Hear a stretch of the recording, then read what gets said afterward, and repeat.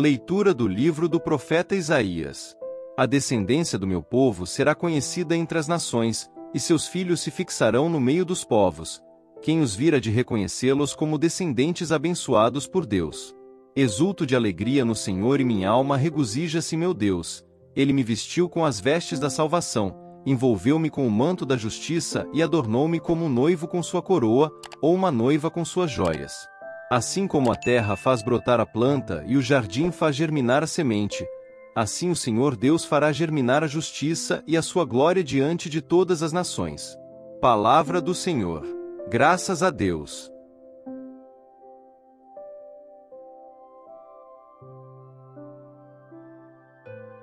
Proclamação do Evangelho de Jesus Cristo segundo São Lucas. Glória a vós, Senhor. Os pais de Jesus iam todos os anos a Jerusalém, para a festa da Páscoa. Quando ele completou doze anos, subiram para a festa, como de costume. Passados os dias da Páscoa, começaram a viagem de volta, mas o menino Jesus ficou em Jerusalém, sem que seus pais o notassem. Pensando que ele estivesse na caravana, Caminharam um dia inteiro. Depois começaram a procurá-lo entre os parentes e conhecidos. Não o tendo encontrado, voltaram para Jerusalém à sua procura. Três dias depois, o encontraram no templo. Estava sentado no meio dos mestres, escutando e fazendo perguntas. Todos os que ouviam o menino estavam maravilhados com sua inteligência e suas respostas. Ao vê-lo, seus pais ficaram muito admirados e sua mãe lhe disse: Meu filho, por que agiste assim conosco? Olha que teu pai e eu estávamos, angustiados, à tua procura. Jesus respondeu: Por que me procuráveis? Não sabeis que devo estar na casa de meu pai? Eles, porém, não compreenderam as palavras que lhes dissera. Jesus desceu então com seus pais para Nazaré, e era-lhes obediente. Sua mãe, porém, conservava no coração todas estas coisas. Palavra da salvação. Glória a vós, Senhor.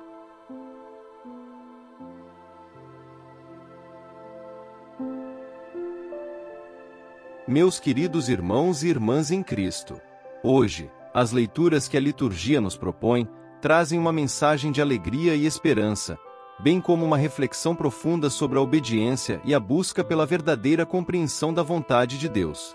Vamos explorar juntos o que Isaías e o Evangelho de Lucas têm a nos ensinar sobre a vida e a fé. No livro de Isaías, capítulo 61, versículos 9 a 11, encontramos uma mensagem poderosa de redenção e glória. O profeta Isaías proclama: Sua descendência será conhecida entre as nações e sua posteridade, no meio dos povos. Todos os que os virem reconhecerão que são uma linhagem abençoada pelo Senhor. Isaías fala de um povo que, após a tribulação, será reconhecido pela bênção divina. É um povo que experimenta a salvação e a justiça de Deus de maneira tão visível que todos ao redor notarão. Imaginem um jardim, uma vez desolado e árido, que depois de uma estação chuvosa e abundante floresce com vida e cores. Esse jardim representa a transformação que Deus opera em nossas vidas. Onde havia desespero, nasce esperança. Onde havia tristeza, surge alegria. Isaías nos assegura que somos como esse jardim florescente, plantados e cultivados pelo próprio Deus. E o profeta continua: Eu me alegrarei muito no Senhor, a minha alma exultará no meu Deus.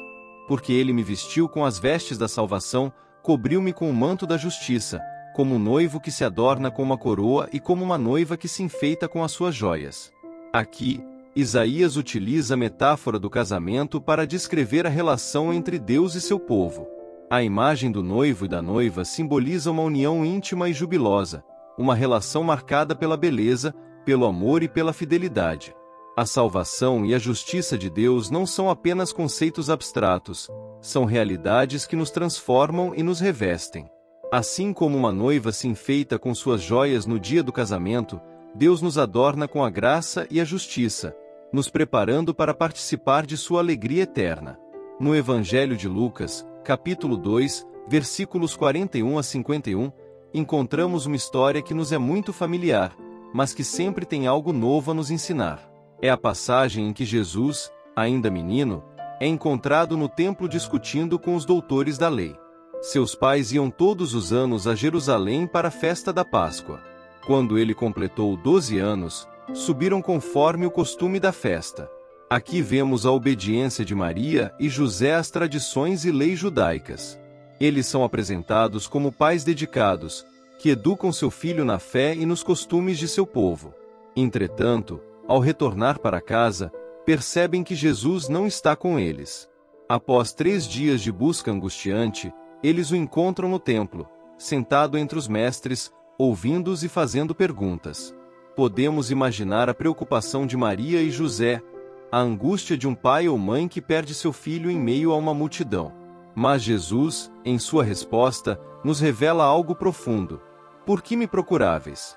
Não sabíeis que eu devia estar na casa de meu pai? Jesus, mesmo sendo jovem, tem plena consciência de sua missão e de sua identidade como Filho de Deus. Ele nos lembra que a obediência a Deus e o cumprimento de sua vontade estão acima de tudo. Maria e José não compreendem completamente o que Jesus diz, mas guardam todas essas coisas no coração. Maria, em particular, medita sobre essas palavras, buscando entender o mistério de seu filho. Esse episódio nos ensina sobre a importância da busca pela compreensão da vontade de Deus em nossas vidas, mesmo quando não entendemos completamente o que Ele está nos pedindo. Vamos refletir sobre nossas próprias vidas. Quantas vezes nos encontramos em situações em que não entendemos os caminhos de Deus? Talvez seja uma dificuldade, uma perda ou um momento de incerteza. Assim como Maria e José, somos chamados a confiar e a buscar a presença de Deus, mesmo quando as respostas não são imediatas ou claras. Jesus nos mostra que nossa primeira lealdade deve ser a Deus. Ele nos convida a fazer da vontade de Deus a prioridade em nossas vidas, acima de nossas preocupações e medos. A obediência a Deus, como nos exemplificou Jesus, é o caminho para a verdadeira paz e realização. As leituras de hoje também nos desafiam a olhar para a nossa identidade. Isaías nos lembra que somos um povo abençoado, adornado com a graça de Deus. O Evangelho nos lembra que, como filhos de Deus, somos chamados a viver em obediência e em busca constante de Sua vontade. E como podemos aplicar essas lições em nossas vidas diárias? Primeiro, reconhecendo a nossa identidade como filhos amados de Deus. Assim como o povo descrito por Isaías, somos abençoados e chamados a refletir essa bênção no mundo. Nossas ações, palavras e atitudes devem ser um reflexo da justiça e da salvação que recebemos. Segundo, precisamos cultivar um relacionamento profundo e constante com Deus. Isso significa reservar tempo para oração, para a leitura das Escrituras e para meditação. Devemos buscar estar na casa do Pai, assim como Jesus estava no templo, ouvindo e aprendendo.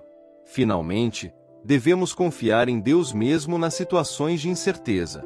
Quando não entendemos os caminhos que Ele nos coloca, devemos lembrar da atitude de Maria, que guardava e meditava sobre todas as coisas em seu coração. A confiança em Deus nos dá a paz para seguir em frente, sabendo que Ele está no controle. Que essas leituras nos inspirem a viver com alegria, confiantes na nossa identidade em Deus e a buscar sempre Sua vontade em nossas vidas. Que possamos, como Jesus, ser obedientes ao chamado do Pai e, como Maria, guardar e meditar sobre os mistérios da nossa fé. Vamos agora ter um momento de silêncio, pedindo a Deus que nos revele Sua vontade e nos ajude a viver de acordo com Sua graça e justiça. Senhor, nós te agradecemos por Tua palavra que nos guia e ilumina. Ajuda-nos a viver como teus filhos abençoados, refletindo tua justiça e salvação em todas as nossas ações. Dá-nos a graça de buscar sempre tua vontade e de confiar em ti em todos os momentos. Que possamos ser luz no mundo, seguindo o exemplo de teu filho amado. Amém. Meus irmãos e irmãs, ao sairmos daqui hoje, levemos conosco a alegria e a esperança que encontramos nas Escrituras. Que a graça de Deus nos acompanhe e nos fortaleça para vivermos como verdadeiros discípulos de Cristo, obedientes e confiantes em Sua vontade. Amém.